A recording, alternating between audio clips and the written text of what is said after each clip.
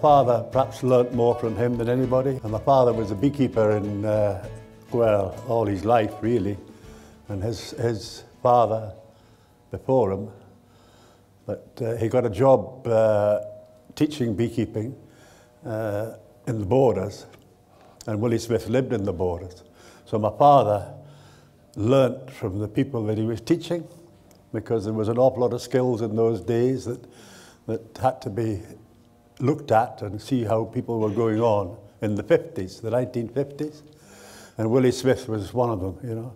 So that was a huge boost in education for my father. And of course, my father could tell all the, he had 150 beekeepers to teach. And, uh, and he would tell them what needed to be done to, to make their beekeeping better. And that not all of them took much notice. But uh, that's where the, all the information came from, which was the basis of uh, Chain Bridge Honey Farm. Because I was a single child and we were living out in the country. And I spent my holidays, a lot of my holidays, going around with my father. So I'm bound to, lose, to listen to all the, what was going on, all these old worthies, and what they were saying about the bees. And some of them, I think, they talked about very little less than beekeeping, you know. But my mother thought was fine, she didn't mind. But certainly Smith was devoted to, to, he had 120 hives as the first commercial beekeeper in Scotland, in Peebles, which was a very difficult place to keep bees because it was cold.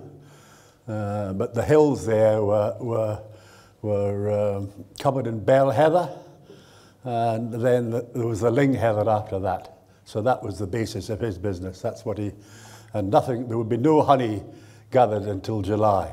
They didn't build up the bees.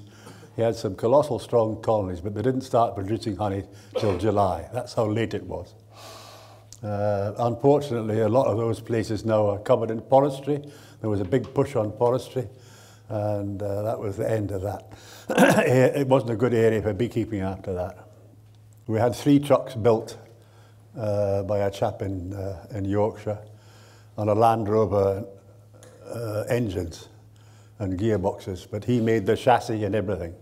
So we've got three of them, and they, they're, they're, they're, I've got, we've got trucks that'll last for a very long time, 30, 40, 50 years. Uh, aluminium, aluminium, aluminium bodies and galvanized chassis. And the idea here is to find uh, walls to put the bees against to try and get some, some gain in the colder weather, keep the wind off them and that because North Northumberland is a pretty difficult place to keep bees. It's very close to the North Sea, and the northwest wind comes down from Greenland and across past Norway and right down into East Lothian and, and badly into our area. But that's just tradition. We are Northumberland beekeepers, but it's a, it's a difficult place to keep bees. We keep black bees, which uh, we've always had them and uh, never been really tempted to, to change to any other bees and because they've always kept us. And we were pleased just recently, some people did some, some uh, in Edinburgh, did some analysis on our bees and found that there were between 90 and 94% Apis mellifera. So we can't understand how that happened because uh, the bees have, have got them, themselves there on their own. You know, there haven't been any, any line breeding or anything like that done with them. They've just, so they've, they've actually, there've been an awful lot of imports into Northumberland. Not as many imports in Northumberland as there have been at other places. Uh, and the imports generally fade away. And uh, New Zealand and this sort of thing uh, fade away. And the black bees come through stronger. So it lets you see that uh, they, they, contr they control their own destiny if they aren't flooded with imports, you know. But we keep them because we like them. And uh, they're not nasty. We don't have any problem with, with, uh, with them attacking us. At the early stages in the, in, the, in, the, in the sort of 60s and 70s, we were going through the hives every nine days. Some of you, some of you will be familiar with that, the nine-day inspection. Um, that made them upset and they were actually looking for us when we came. And my father said, well, we'll have to stop that, you know, and, and we did stop it and uh, leave them alone as much as possible. Never upset them, you know. We're not industrial beekeepers. Uh, for all, we keep huge numbers of colonies. We don't, we don't uh, treat them, we treat them the same as if we had two, you know. And that, that pays dividends because they're quite pleased to see us now. They're not bothered. There's only about one, maybe three highs out of a hundred that'll, that'll show themselves to be aggressive. In a year or two, they'll have changed their queen a time or two, and then they've got, they've got out of it, you know, out of the aggression. So the, the main body of the bees are, aren't aggress ag aggressive at all. You'd have to be pretty clumsy to upset them, you know. But, uh, so with black bees, that's an important thing, is treat them with great respect, and they'll come round to your way of thinking.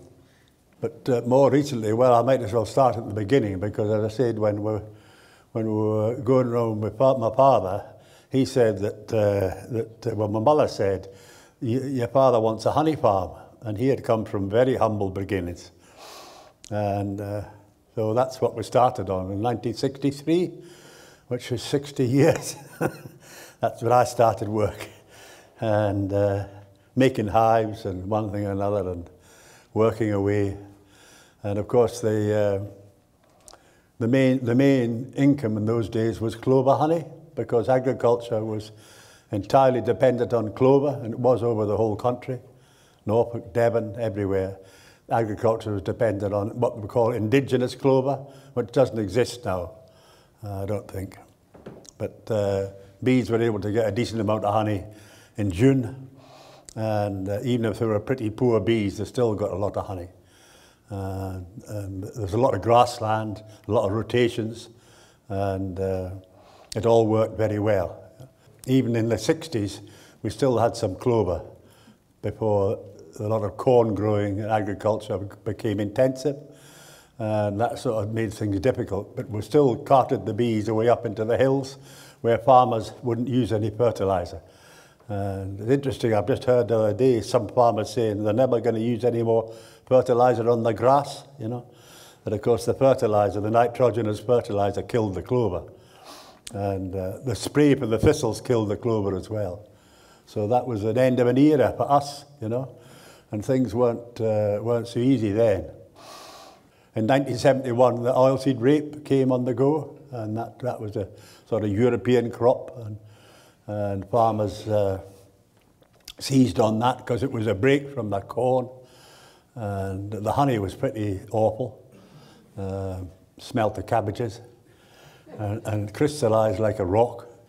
And even then, there were so many beekeepers producing sections, and they, they, uh, they, uh, they couldn't sell, the, the, so they packed up. They, just, they weren't going to change from sections, so they just packed up.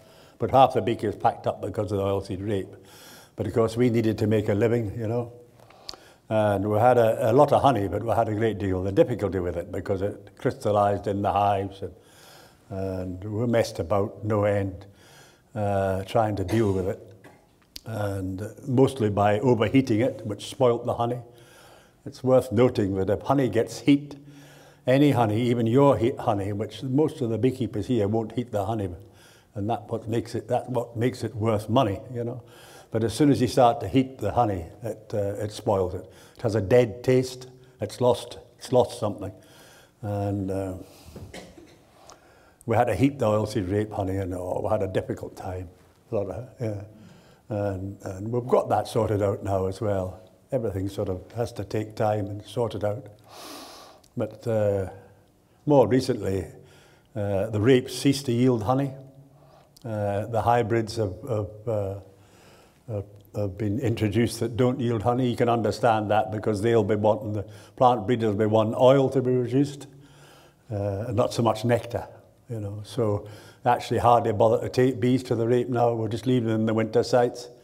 And if they get some honey, well and good, but at least uh, if you take them out of the winter sites, when the rape's out, which is in April, um, you, you, you start to do them a lot of damage uh, because of the cold. And uh, last year, our beekeeping didn't start till the 12th of June because it was the northerly winds. It was so persistent, and we didn't take the, put the bees out of their winter sites. So that, that has a big effect as well on, on, our, on our work because we can't get started, you know. And I should say that uh, I went to the lecture last night, and of course, a lot of you here will be wanting to know how we're coping with the, well, the Varroa was a bad setback for us, and we did, we did a bit of treating, but over the years we've sort of run down the treating to fairly, a fairly low level, not bothering too much, and trying to get the bees resistant to it. And that's sort of happened, you know. We very rarely see any varroa in the hives, you know. If we do see varroa, and then we, we treat them, obviously. But a lot of the hives have no varroa in them that you can actually detect. But what we have found is that uh, uh, there's a great upsurge in queenlessness uh, over the last 10 years or so. And uh, uh, we haven't really got to the bottom of that, you know, but we've had to see about what we're going to do about it. And uh, talking about the 12th of June, of course, to, to do something about queenlessness, we have to make nuclei, a lot of nuclei, you know, hundreds, hundreds and hundreds of nuclei. But because the weather's bad, we can't do it. The bees won't, you can't go into the hives of bees to make nuclei. But uh, this year we've managed, even at that time, starting on the 12th of June, all the nuclei have been quite successful uh, because the, um, when it gets into July, the, the drones, there are more drones about, and there are more drones that are able to mate with the queens, which is, uh, which is uh, critical, you know. We find that the later the nuclei are mated, uh, the better they go, you know. Anybody that keeps a few hives here and there, they'd be paid to have another apiary somewhere else and have the nuclei in the apiary away from the, the main lot, you know. Because this queen, queenless problem, is uh, whatever is causing it, it's contagious. So you could get a whole lot of bees, hives in one apiary going down with it. And it's better to have, well, we are lucky because we've got apiaries all over the place. And we'll have, if we have a disaster somewhere, uh, we've each we've got bees somewhere else that are all right, you know. So whatever it is, is contagious. And then there's another, another problem where the hives are collapsing. You'll have come across that most of you. Hive, just great big strong hive just collapsing and uh, that's a bit of a bad go as well. Well, they're just a write-off, you know, you just have to wait another year until they get themselves pulled together again. And most of them, it doesn't kill anyone, but they just collapse, you know. Very common. So that's the two things that are bothering us at the present. Uh, queenlessness. And you know, when I was, when I was a kid, when I was young, some of the queens, my father used to say, well, that queen's four years old and it's still got some, some good in it, you know. It don't kill it, you know. Uh, put it into a nucleus somewhere and it's, uh, now you'd be lucky to get a queen to go one year, you know. And certainly difficult to get through two years, you know. So there's something gone drastically wrong in the hives, you know. Reproduction's been badly affected, you know. Queens, well, some big colonies we've discovered as many times, colonies with with three supers of honey on. And uh, they've just collapsed and the wasps have rubbed them out. Well, what's happened is that the queen, you know, well, I've written it, uh, I've written it all down, but it, the, the black bees at a certain time of year put the queen off the lay uh, in order to build up colony numbers to get a crop of honey. And often when that happens, the queen doesn't come back onto the lay. And, but the, the bees are saying, well, we've got a queen and okay in that. But eventually they should be superseding her straight away, and they're not superseding her, and then they find themselves with no eggs to make any supersede cells, you know. So you get a colossal hive. You know, you could say, oh, well, is malnutrition the trouble? Well, it's not the trouble if they've got three supers of honey on, you know. Uh, it's something we don't understand, but we went to a lecture last night, and I don't think really anybody understands what, what's really happening. But it's, it's probably, well, it's as bad as Varroa. It's just a bad, bad go, you know. Uh, but this last year, we haven't, we've got a lot of honey and we haven't been so badly affected. So if the bees, obviously the bees, the bees this last year, after they got going, uh, they appreciated the decent weather. So that, that tells you that something, whatever's going wrong in the hives, some of it's to do with low morale, that bad weather doesn't help them, you know. And uh, we, we, we, where we are, there's a lot of bad weather, you know. But this year it got, it got hot and stayed hot. And um, we haven't so many empty hives, you know. Empty hives were a big feature, uh, feature in this last Varroa age, you know. Empty hives all over the place. But you've got to have, well, the view I took was that if you had Varroa in the hives, they would learn to be resistant to it. But if you kept wiping them out, they would never learn to be resistant to them, you know.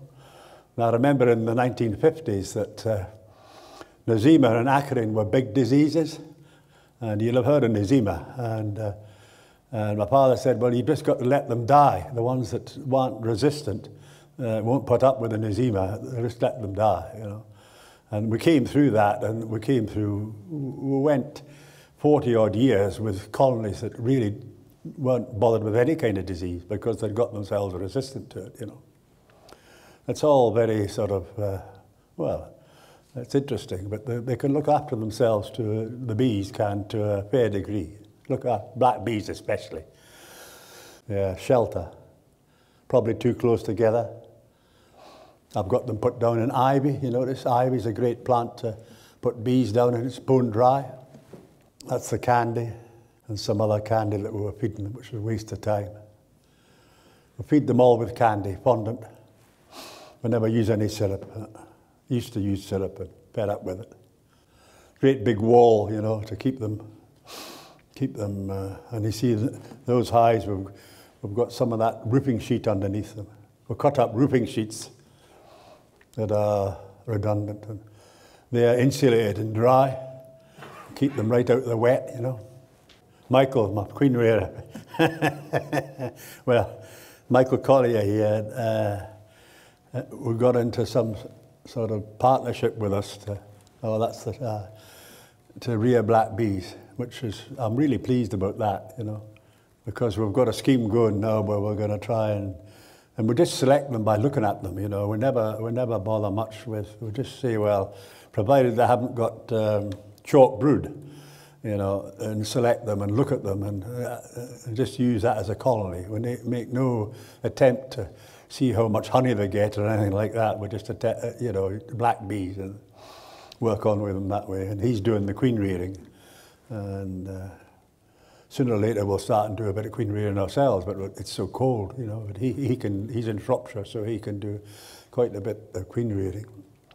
And the time will come when Michael will be rearing a lot of black bees, or black bees, queens, a lot. And there are people in the country that want them.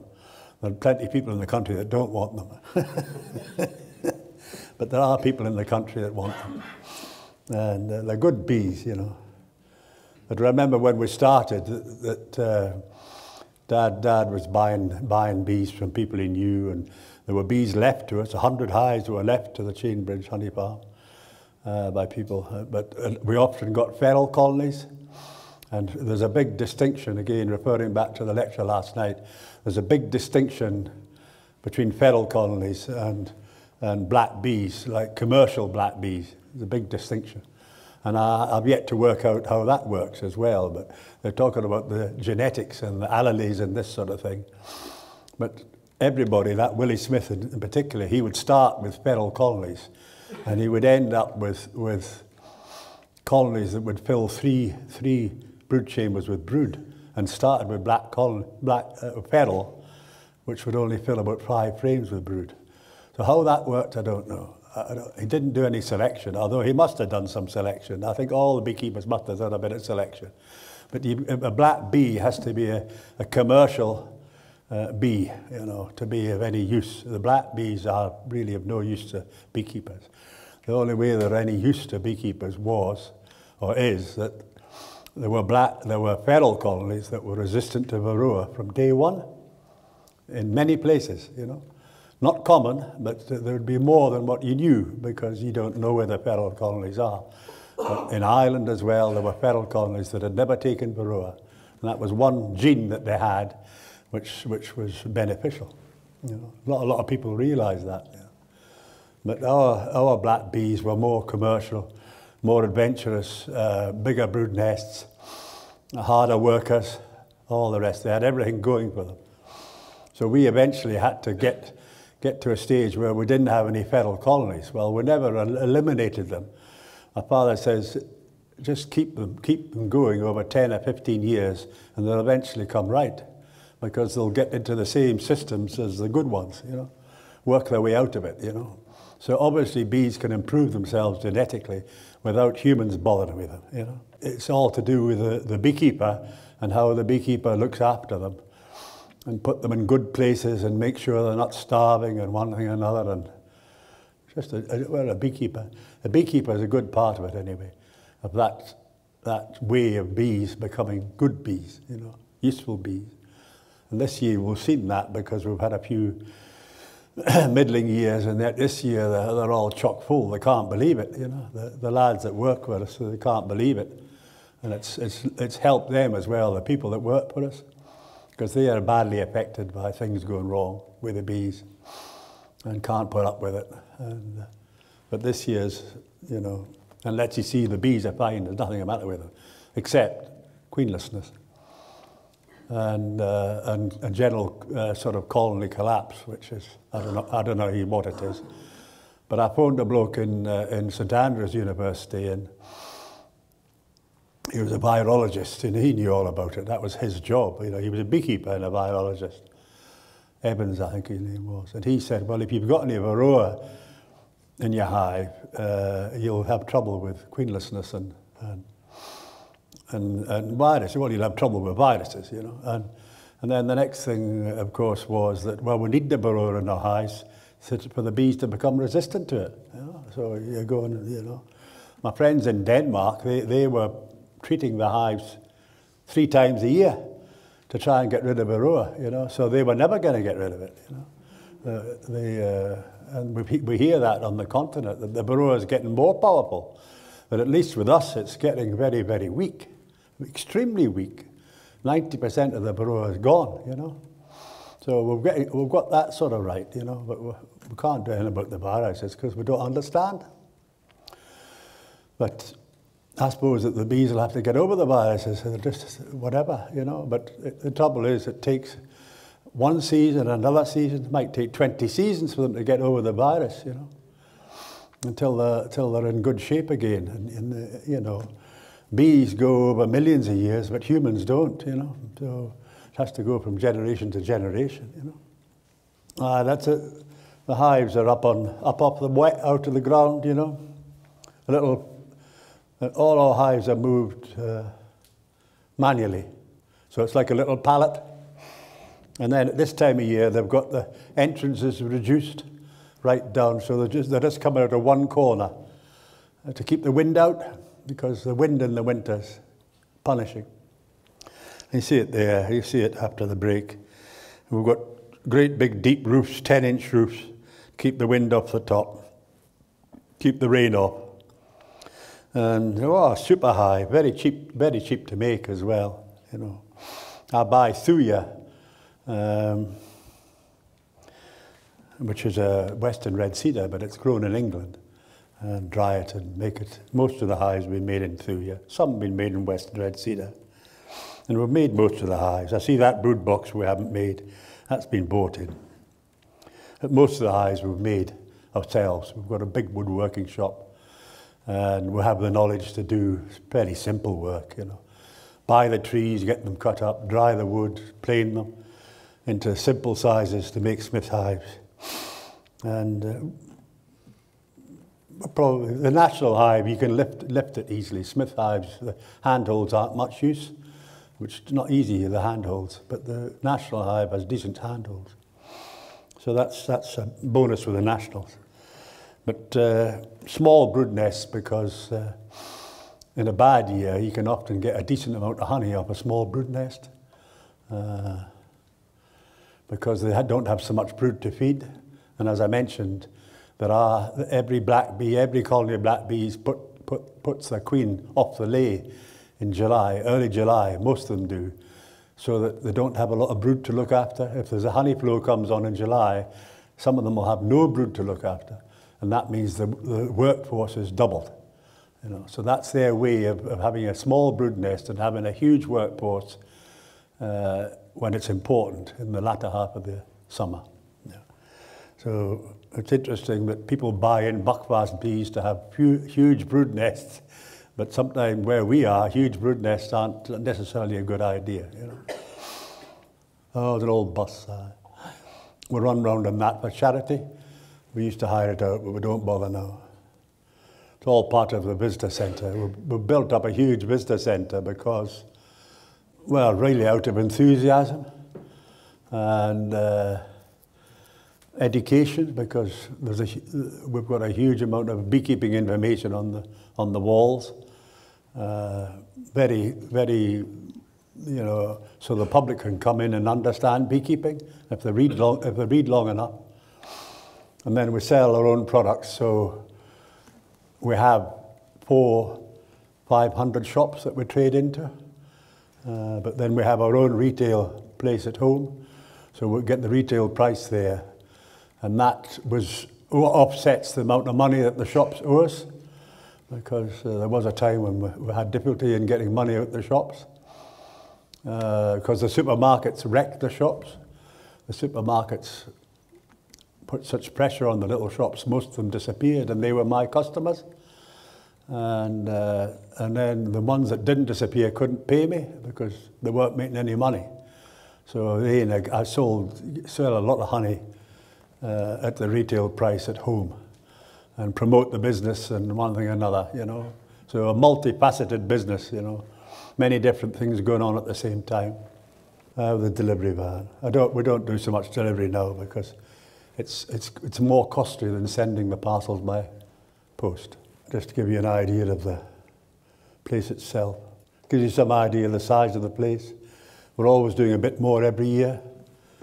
We've put a lot, since the lockdown, we've put an awful lot of effort into gardens. And uh, we thought that people like, when they come about, they like to see a garden, and we'll do that.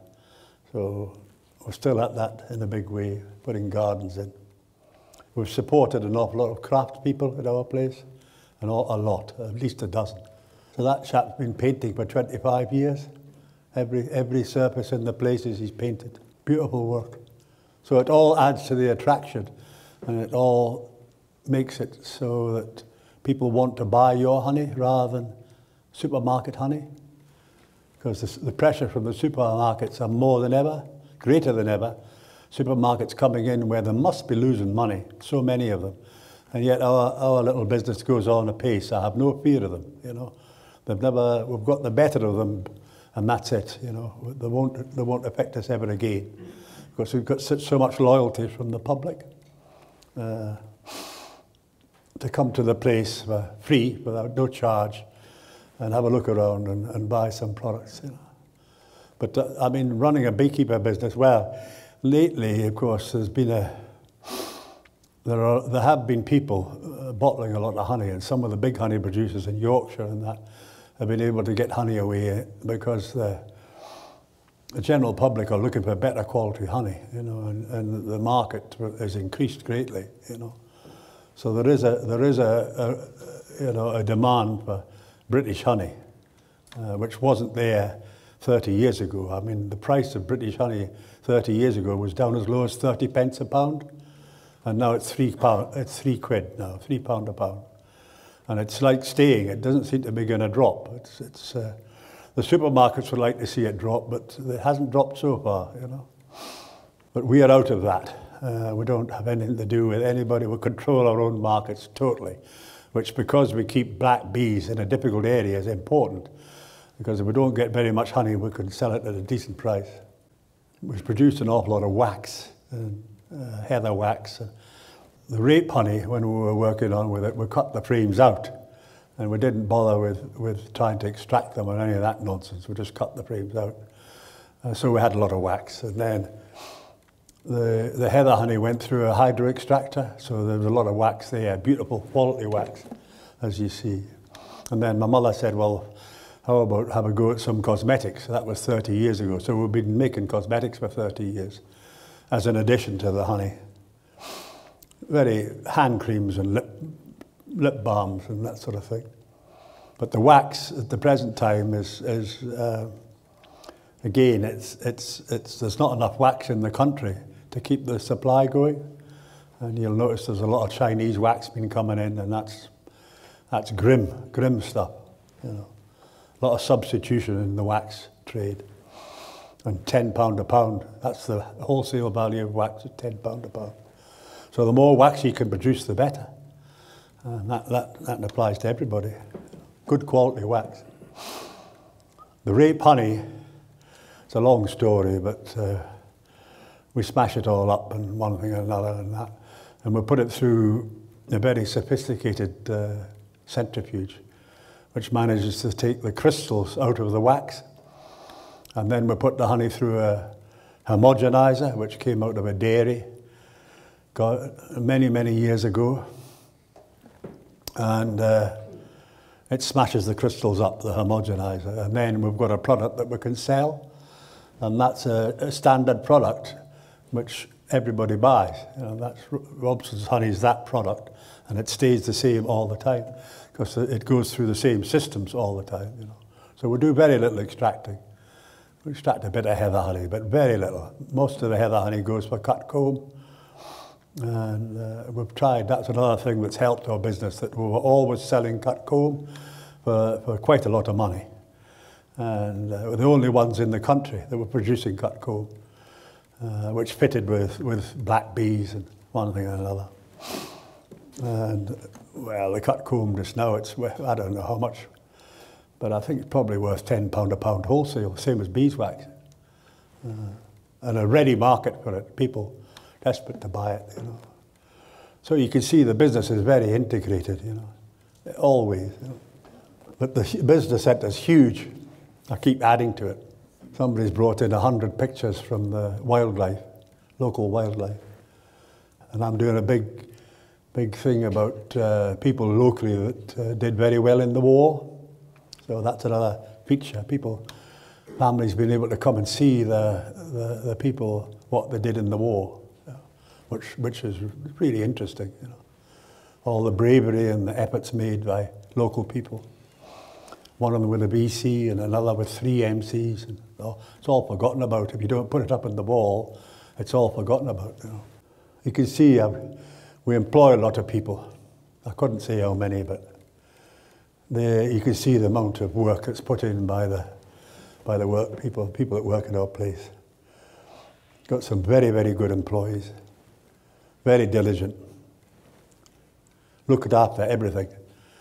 If it belongs to Willie Robson, they look after it. Because I don't shout at them. Loyal people, yeah. We've got better packaging for the cut comb. But we haven't really worked that out yet either. How to pack the cut comb. That's the Smith, Smith Hive in pieces. Belonged to Robert Couston. I don't know if you, some of you remember him. Great lad, Couston teaching beekeeping when he started the that business centre, a lady came in and asked her, she had been doing voluntary work, uh, she just had two children to support. Have you got any work? I said, well, what work? You know, what do you do? Well, I'm a calligrapher. And she was Dutch.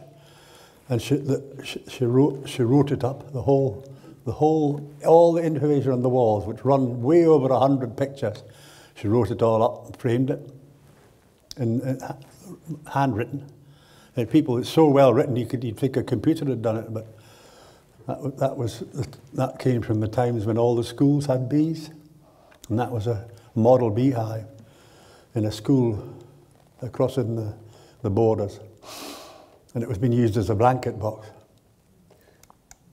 All the, high, all the schools had bees at one time. We've got two honey houses. We had, we had built one and then subdivided it a bit and then built another. All the building we've done ourselves on, this, on, the, on the place with the people that work for us.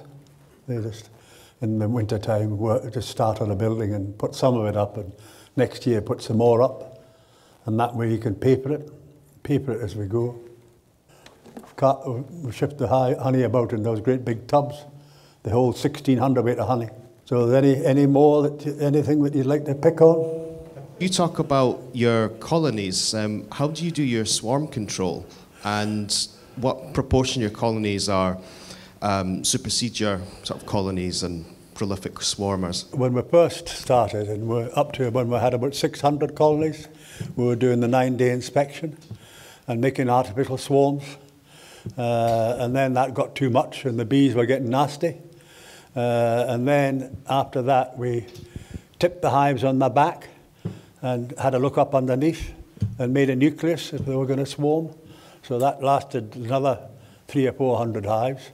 But at least we didn't have to pull the frames out, you know, because we were having to go on a wet day and pull frames out and and the bees weren't going to have it. So by tipping the hives back, which any bee could do, and have a look and see any queen cells, If there's an egg, it'll be all right. But if there's jelly, you've got to do something. Yeah, you'll know all about that, jelly. And, tip the hive on its back, you know, and, and lift the supers off before you tip it on. And then uh, actually, if you look down through the queen excluder, if it's a wire one, you'll see the cells all along the top bars. And if you'll see any cells that are extended. If you look squint, you'll see cells that are extended on the top bars. That generally get, get yourself round, you know. But when the rape got going, whenever we started to get, we couldn't cope because we, if we went trying to do swarm control, we couldn't, uh, we couldn't uh, get the supers on quick enough. We had to put crates on quick, you know, and we were messing about with swarm control. And the other thing is when we were, when we were doing swarm control, there was, there was unripe honey all over the place, dripping, and it's shambles, you know. So after that, we, we never bothered very much with the swarm control until after the rape was finished. And just making nuclei, make a nucleus up and shift the, pot, the, the parent colony away to another place, two or three yards away. And that generally was, was fine. You know, it's all you needed to do, and it's all you had time to do. You know. More lately, we've been very little bothered with swarming. I would rather that the swarm more, but that's all to do with this queenless carry on. This, the, the viruses have, have upset their reproduction, upset them, you know. And I look in hives, and I say to myself, I don't know what I don't think these bees know what they're doing, and they don't. Their instincts have been badly affected with viruses, you know. And uh, I see that all the time. I say, well, what's this hive thinking they're going to do, you know? And they don't know what they're going to do because they're in, under a lot of pressure. Bees are under a lot of pressure, you know. And you can see that because people say, oh, well, we'll get over the losses in that. But how many losses? There's losses every year, you know. And then it's not just us. I hear all around Scotland, huge losses, you know. And people sort of say, well, they don't like to talk about it and we'll get over it and that, you know. But it was never like that before. Although, to be fair, there were some winters in Scotland where there were 100% wipeouts, you know, 100%, you know. Some of the bee farmers up the east coast lost every hive that they had, you know. But that would be more to do with bad winter sites and Nosema, yeah. But Nosema seems to have largely disappeared. Yeah? You never, and you never hear anything about acarine. I never knew anything about acarine anyway, you know. But uh, we don't bother much with the swarming now. Just after, well, we do, you know, we do. We have a look, you know. You know, I've got a lad works for us, and he's, he's, he's really keen to look. They make, a, they make a nucleus up and they move the hive away. That's what they do. But it's all spoilt with this problem with queenlessness and these viruses, you know. Mm. But we don't lose much with swarming. You, you come across a great row of hives and none of them are swarmed, you know. Not good, eh? I'd rather see them swarming. Willie, with, with the um, queenlessness going on, or, or queens which stop laying, uh-huh. I, I refer to it as egg bound because I've always found those queens have a very big abdomen on them. Have you found the same? Well, that, that's an observation I haven't made. Have you?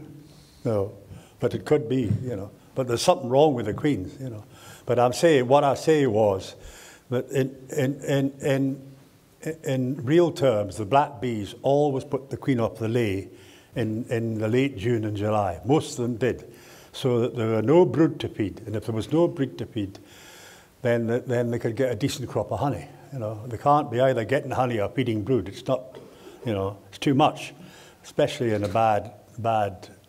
So some of those queens fail to come back onto the lay. Something goes wrong and, and, and then the colony's lost.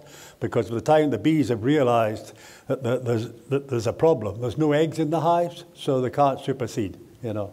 And that's been a big loss to us, because if you get a colony with a hundred pound of honey on, robbed out, It's a lot of money. It's 500 quid, you know.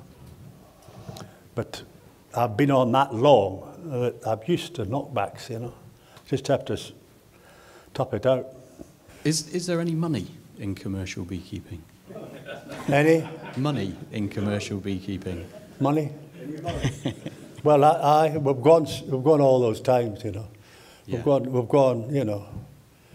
Uh, Even now, w- even in bad times, the business is sufficiently powerful to to make us pay income tax. We've never stopped paying income tax. Even in the very worst, we still had to pay uh, quite a lot of income tax. And it pay, the, the business pays, at the present time, 15000 a month in wages. And sometimes, in years gone by, much more than that, too much more, you know. And, and what's the worst thing that's happened during your beekeeping career? Um, probably the Varroa. There was a spell between 1985 and uh, 1988 where the sun never came out. Uh, if you were a farmer, you'd remember that. And we went, we just, just struggled by, but we, the bees stayed alive. And the funny thing was, in 88, they all had queens. So they had all superseded in, in, a, in what you would say was impossible weather, you know.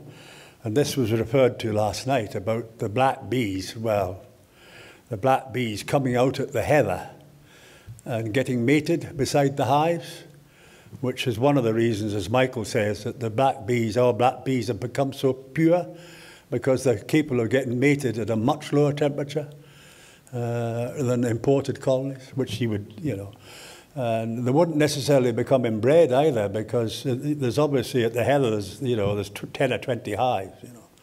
But they're getting mated at a very much lower temperature. And uh, 63 were lost just about all the hives. There was four foot of snow for 12 weeks, which was a bad set. I couldn't believe it. Every hive I looked in was dead. But, uh, we had friends that helped us, you know. My father had a lot of friends. Well, he did. He had a lot of friends. Got a few hives here, a few hives there. And then at, in about 1970 or something, I went on my own. Dad wouldn't, he wasn't going to have any more to do with the money.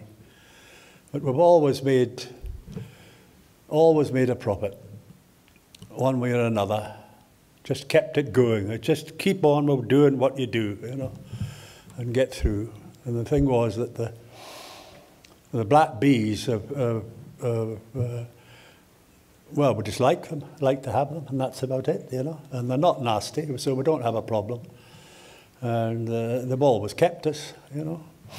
But I suppose the Varroa is probably the worst thing that's happened. That's been, you know, that lockdown wasn't much fun either, you know. But that was, wasn't to do with the bees, you know. Do you think um, there's a possibility that pesticides may have something to do with Yeah. mm. Yeah. Is that a problem? Well, well, in my lifetime, we went from the 50s, the 1950s, to no organic, organic agriculture. Org, org, ag, agriculture was organic in the 50s, you know. And in that, since then, the, the land around us has been poisoned. And in a big, in a big part of the country, the land has been colossally poisoned by, well, not farmers, but farmers take the blame, you know, but the chemical companies. And still going on yet, but there have been some seriously dangerous chemicals used on land uh, with, with government approval, you know. And, and now I see the land out and round us has been, it's, it's, only a, it's only a medium for chemicals. There is no fertility in the land, whatever. And the Tweed Basin is a very, very fertile area, but it isn't because it, oh, nothing grows unless it gets chemical, large amounts of chemical. Well, that must have an effect on the bees because it goes into the hives, you know, same as it goes into our bodies, you know. But the, the government's been very lax in allowing the chemical companies to, to spread so much poison, you know. And then, of course, organophosphorus is one of them, and a whole lot of others. The fruit trees, the fruit industry was absolutely. I mean, they wouldn't take bees at the finish to the fruit. The beekeepers wouldn't go because there was that much chemical, and worse in America. So you must understand that we are now subjected to huge amounts of chemical just in the food industry, never mind any other types of pollution. And that all goes into beehives. So it didn't help, you know. But I can't say, but I pretty well know, you know, that that sort of pollution, it wasn't there when I was, a child, you know. But uh, it is now. And then they say now, well, they're never out, these fields with sprayers now. They're never out, they're never finished. They say the chemicals are all right, but they said that before. Always the chemicals are all right, you'll be all right, it'll be fine. But it's not fine, you know. It's a massive problem, you know. But they say if it went back to organic, it couldn't feed the world, you know. But into beehive, it'd be all in beehives, same as it in our bodies. You know. Just a quick one um, about equipment. Do you run on solid floors because it's so cold? Yeah. Mm-hmm. Yeah. Because I try to keep the draft out, you know. I try to keep the wind out of the floors, you know. Because we're just a single box, you know, and then I've got, uh, I've got, you know, they've got to have brood in the middle frames, you know. They've got to be, they've actually got to be replacing the bees uh, in, in, in January, you know, because we, we have a seven-month winter. So the bees have to be pretty sharp on replacing the bees, you know. They're not going to last seven months. So come January, they've got to be a little bit of brood, you know, which means pushing some, pushing some wood into the front and, uh, and keeping the draft out, you know. I can't have, have floors that are wire mesh and that because uh, they'll never get the, they'll never get any bees ready for April, you know. And even in April, this last year, they had to go from April to the middle of June before they got on their feet. So you have a long, long, long brood rearing period, you know. So you, you've got to keep them sort of semi-warm, you know.